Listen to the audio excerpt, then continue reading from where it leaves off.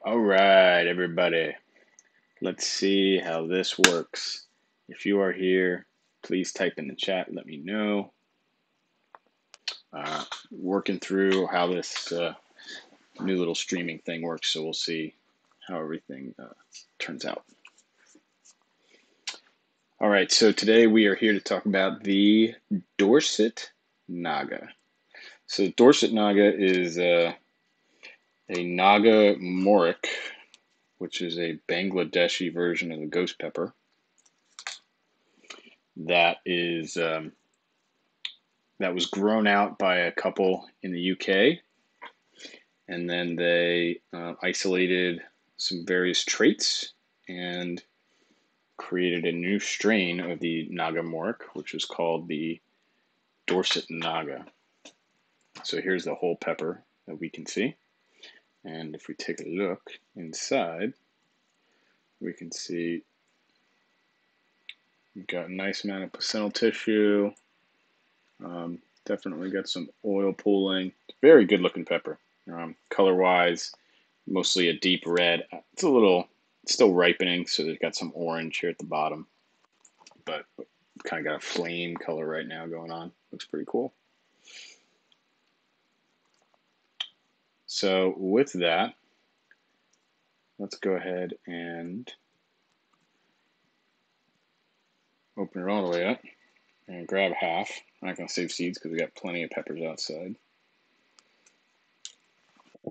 We're going to eat it and talk about it talk about the flavor, talk about the heat, where it burns, all that stuff. And uh, that's pretty much it. So let's go ahead and smell. I actually smell some fruit on this, which is going to be a pleasant surprise. Um, the last couple have just been hot with not much flavor. All right, so with that, the Dorset Naga. This is a review. We got red color, so hopefully it'll be fruity. And uh, there we go, down the hatch.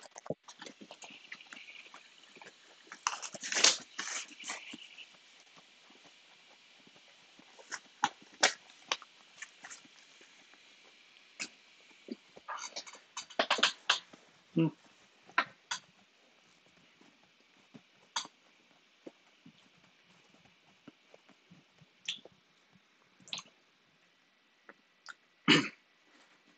Some sweetness initially led into a little bit of floral. The floral is dissipating.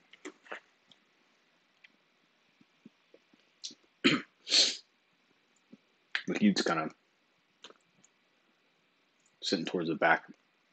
No, uh, there it goes. Now it's rolling. This is weird rolling thing. Maybe as the oil moves, but it's hitting the top of the roof, my throat, back of my throat really like all the way back in the throat.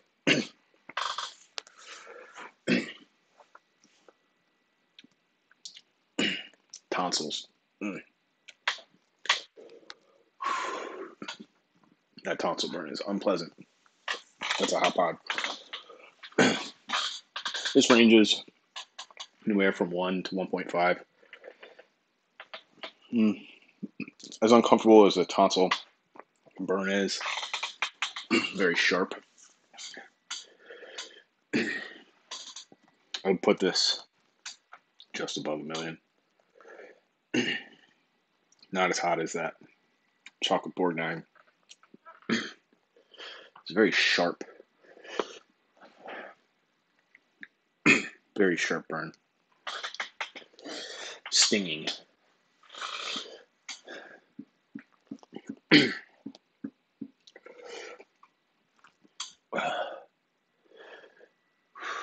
maybe a little higher 1.2 1.3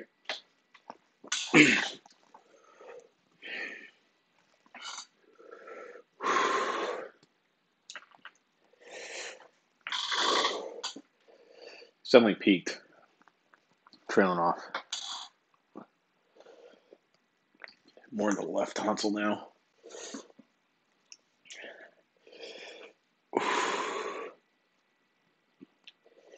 Feels like uh, you have like strep throat. Your tonsils are inflamed and you have that like salt water gargle. That's what that feels like, but a little stronger. Whew.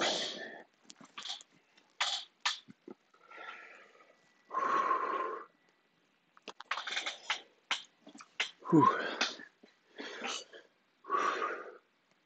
Here comes the endorphins as it subsides. That's a hot pod.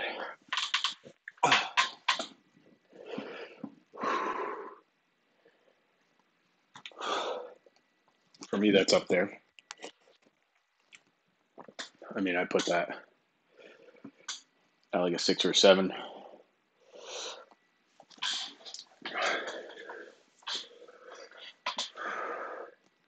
I'm glad I didn't do this outside today because it's like 90 some degrees out. Maybe that on top of this, I'd be sweating buckets.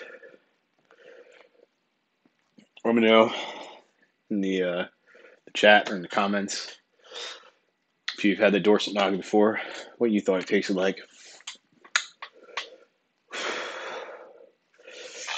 I think that would make good sauce because it did have a little bit more flavor than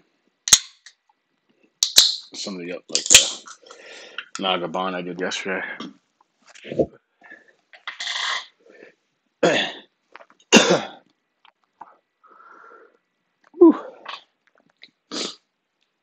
Yeah, we got some other cool ones coming up. Not all super hots. We got some Jay's Peach Ghost Scorpion choc- cross with Chocolate Ghost. Got a yellow uh, pineapple habanero coming up. We got um, let's see, monster monster naga ripening. Got a uh, Jimmy Nardello Italian frying pepper. So lots to see, lots to do. All right, so the heat's pretty much subsided.